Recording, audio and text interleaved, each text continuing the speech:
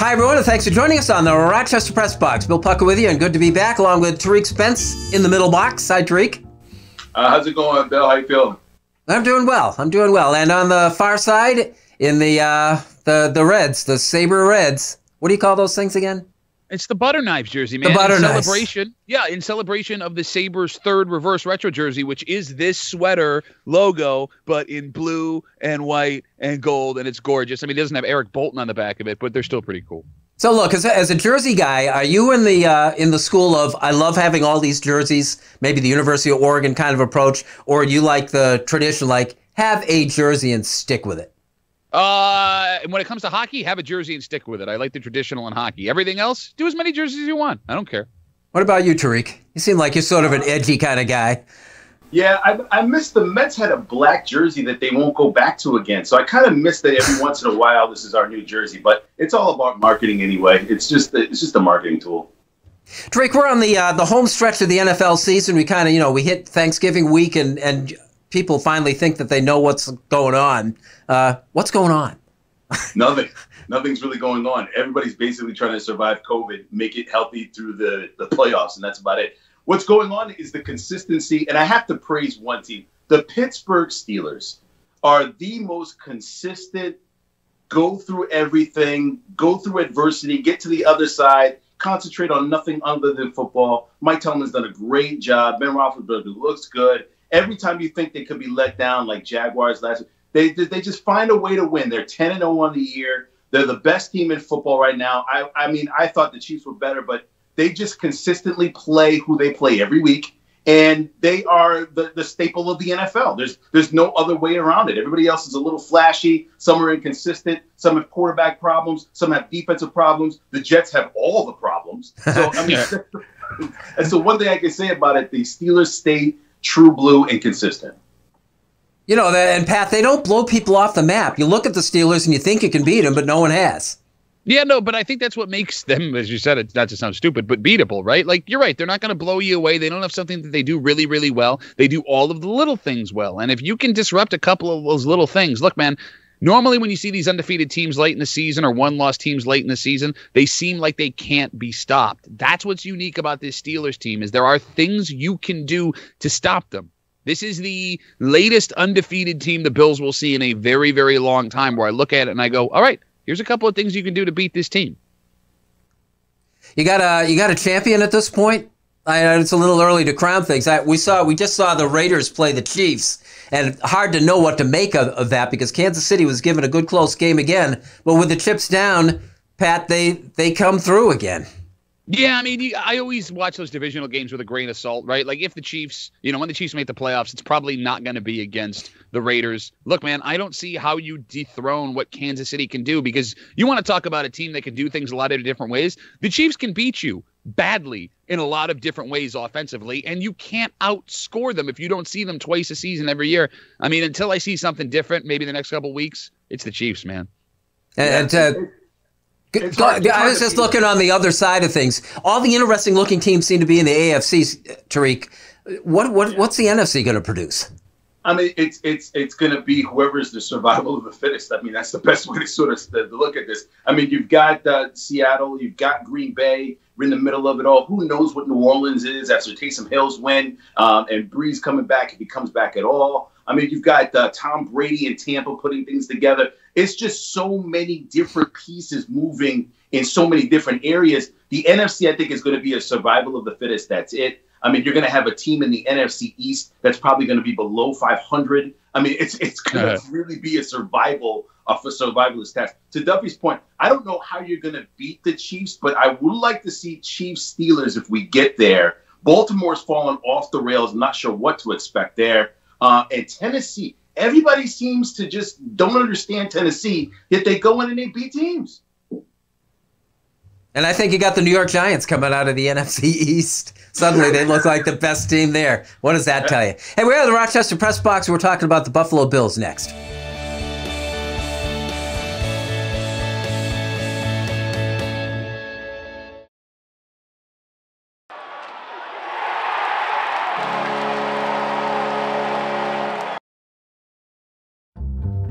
Original Bay Goodman Pizza, located on the corner of North Winton at Browncroft.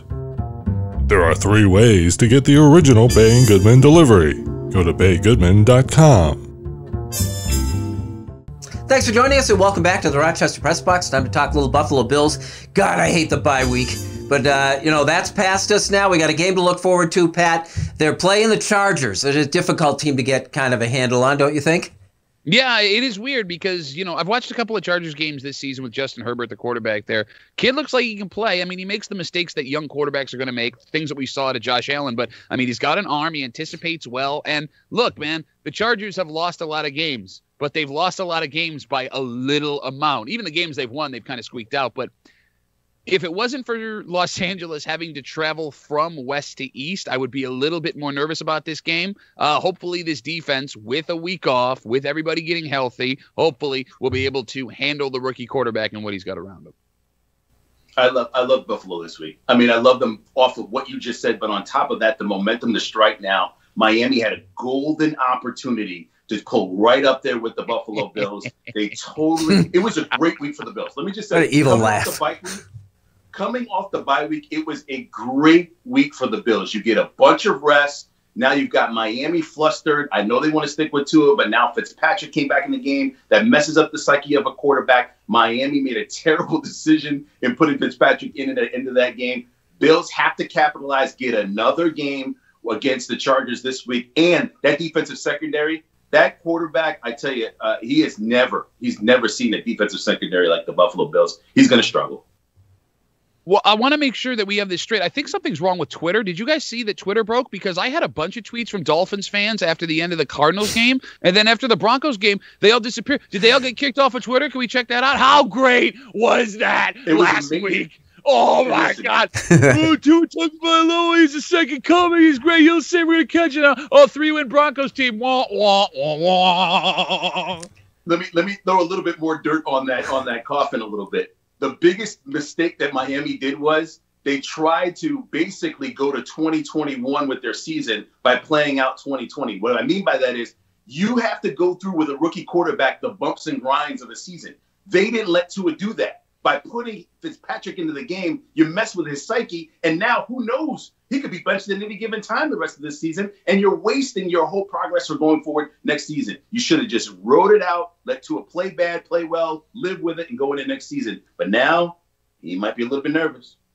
Pat, you're uh, always uh, the the McDermott uh, analyzer here. You got a coach coming off a bye, and there's a school of thought that says you know the great coaches play well with two weeks to prepare. Uh, what do you expect from McDermott off a bye?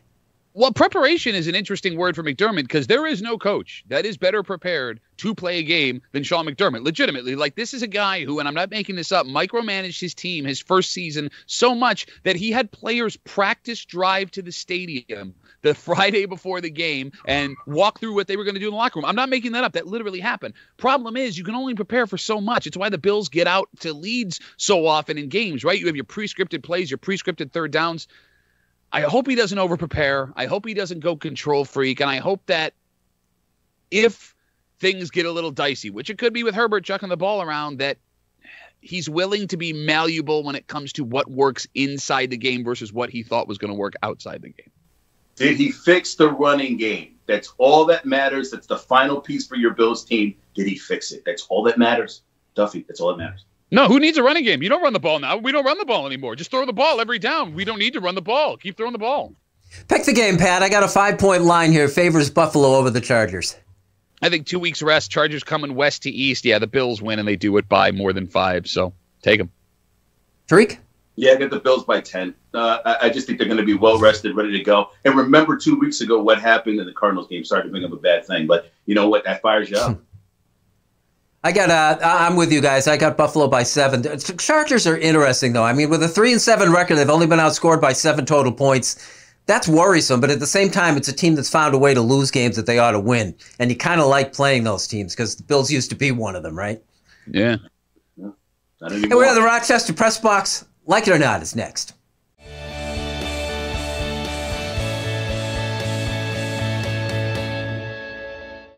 Here's the Press Box trivia question brought to you by Market View Liquor. where exceptional customer service meets an extensive selection. Jefferson Road at 390.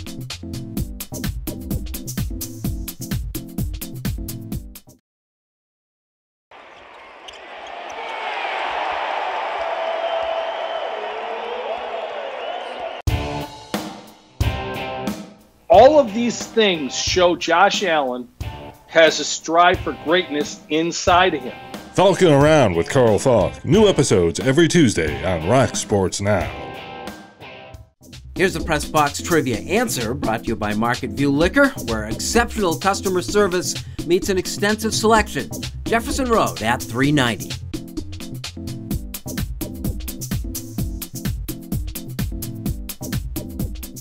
Are you facing criminal charges from a DWI and feel that you never imagined it could happen to you? Contact attorneys with years of experience as prosecutors and defenders.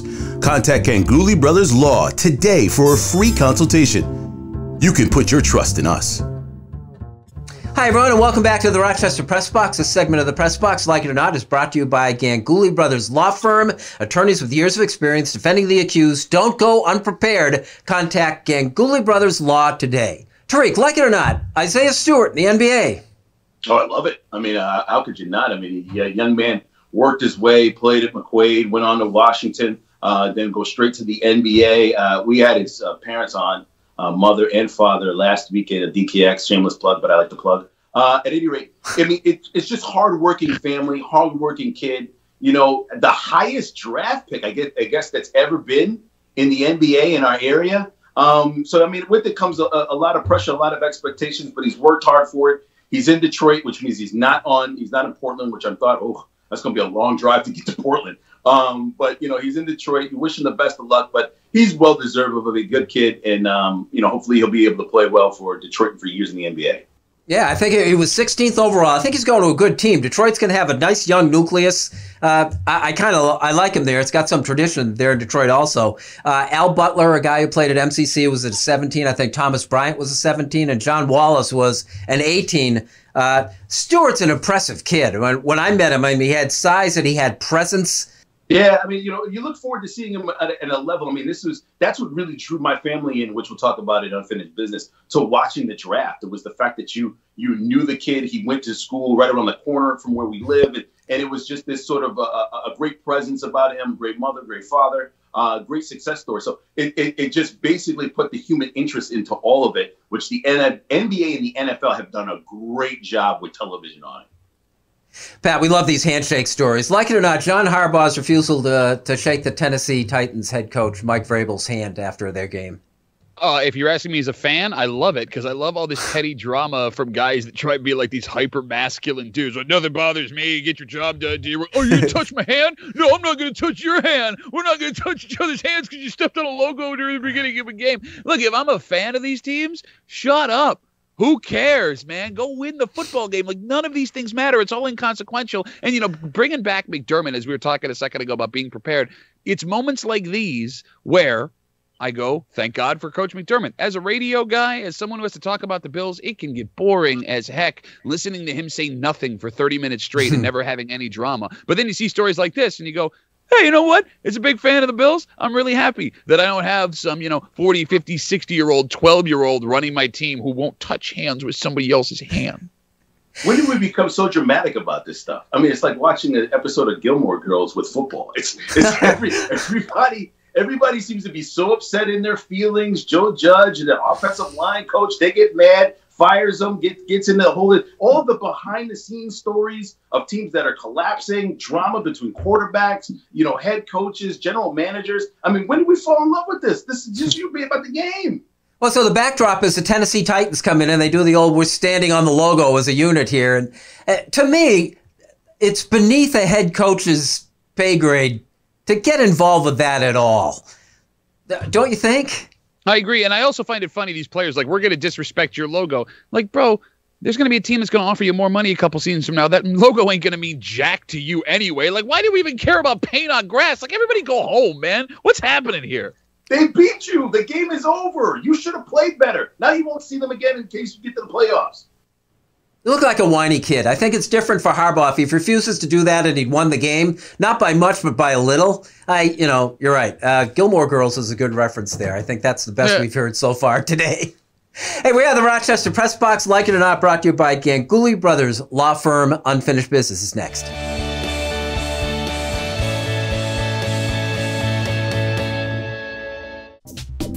The Press Box Stat of the Week is being brought to you by McArdle's Restaurant in Fairport. McArdle's is open seven days a week with dining available indoors and out, takeout and delivery. Come home to McArdle's.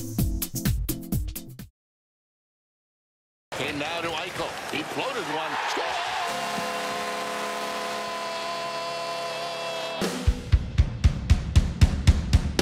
Hey, thanks for joining us on the Rochester Press Box, and welcome back. It's time now for Unfinished Business, and Pat Duffy, start us off. I have a confession to make. You know what a sports jersey nerd I am, baseball cap nerd I am. So I'm a Toronto Blue Jays fan. At least I was a diehard Blue Jays fan when I was a kid. But as I had got older and had kids, one sport had to fall away, and it was baseball. I haven't really followed them all that closely in a long time. Then came the announcement that the Washington Nationals were the new parent club of the Rochester Red Wings, and I found myself, I'm going to be honest with you, on the Washington Nationals website, looking at all the hats and the jerseys.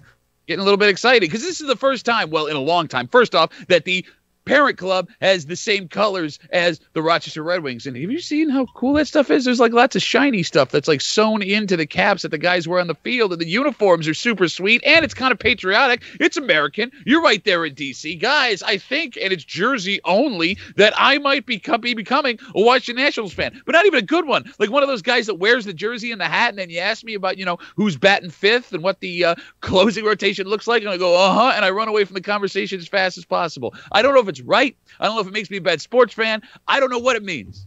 But for Rochester's sake, I think I might be a Nationals fan now. What's great about television is the fact that you can bring the family in together. Normally, my wife and daughter do not watch the NBA draft or any draft, but yet the fact that I watch it for this show and just for the fun of it all, they happen to be watching uh, last week, Wednesday, when Isaiah Stewart was being drafted by the Detroit Pistons. What happened was is that there were a few draft picks before that and human interest stories. The NFL does a great job with them. So does the uh, National Basketball Association. Those interest stories caught my wife and my daughter off guard because it talked about how these young men have struggled to try to make a better life for not only themselves but their family, who they play for, why they represent them. Those interest stories were so big that it got emotional that night, and we didn't even know these young men. I'm just looking forward to see where the New York Knicks are going to pick. But I ended up watching it and talking with them afterwards, understanding that for a lot of these young men that are being drafted into the NBA, this is a great opportunity, not for just for riches, but hard work paying off for the 18 to 20 to 21 years they've been playing basketball. This is the crowning jewel in their family's moment, and they were able to celebrate it on a national stage, whether it was in their living room or at some sports bar. It doesn't matter. But the next time you watch an NFL draft or an NBA draft, just understand that if your wife or daughter or anybody comes into this the, the, into the draft to watch it with you, how emotional can get very quickly. Interesting. Hey, Rochester singer Don Potter does the best version of Somewhere Over the Rainbow that I've ever heard. If you haven't heard his version, look it up. It's really worth the time. It's used traditionally by the Rochester Press and Radio Club as a as a backdrop to a sports collage that they put together to honor all the people that have passed the previous year. It's a time-worn tradition, the same as it was for the former master of ceremonies of that event, Jerry Flynn, who would remark after the playing of Somewhere Over the Rainbow, he's just glad that his face didn't appear on the collage, until of course it did. As sportscasters and sports writers, we live vicariously through the people that we cover, these athletes that we cover. The fans do it too. We just do it better. We're a little more articulate about it.